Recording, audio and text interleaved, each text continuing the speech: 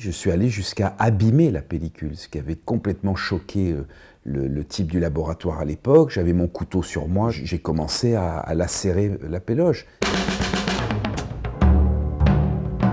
Ça, le type, il, me disait mais, comment tu peux faire ça et tout. Dis bah, comme ça, on croira que c'est un film qu'on a retrouvé.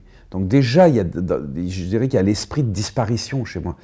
Je ne suis pas encore apparu comme cinéaste, que je veux déjà disparaître, ou en tout cas faire en sorte qu'on croit à un film d'un haut doul qui, euh, qui qu'on ne sait pas qui c'est et qui, et qui est peut-être un cinéaste de 30 ans plus tôt ou voire 60 ans plus tôt. À l'époque, vu mon très jeune âge et ma fougue et cette espèce aussi presque d'innocence, quoi, parce qu'il y avait une forme de naïveté dans la manière de, euh, de procéder, mais, et, en même temps quelque chose qui était, euh, oui, de l'ordre de la croyance. Ce noir et blanc, ce choix du noir et blanc, cinéma primitif, je l'ai compris par la suite.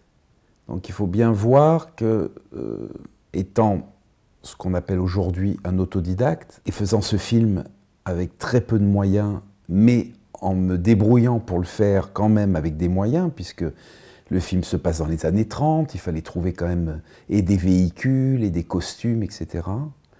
Euh, je, je, suis déjà dans euh, ce qui, je pense, va être par la suite euh, mon cheminement, qui est vraiment euh, lié à la spontanéité et à l'intuition. Ça a été déjà, comme une forme de cinéma de guérilla tout de suite, où il a fallu voler, il a fallu prendre les choses, il a fallu se servir pour pouvoir euh, et surtout qu'à l'époque, quand je vois aujourd'hui, des jeunes réalisateurs ou des gens qui ont envie de faire des films, c'est quand même beaucoup plus simple, je veux dire, même avec, avec un iPhone, et, un ingé son, on peut se débrouiller, on peut déjà, déjà, euh, voilà. Donc tout était compliqué, mais tout était très excitant, parce que justement, il fallait tout le temps passer des, formes d'épreuves, Et c'est ça, moi, que je, trouve euh, intéressant aussi dans la douce. Alors pourquoi, je ne peux toujours pas l'expliquer? Et même d'un point de vue psychanalytique, il y a forcément euh, une interprétation, mais c'est pas à ce moment-là, tout ça se fait euh, dans une intuition pure.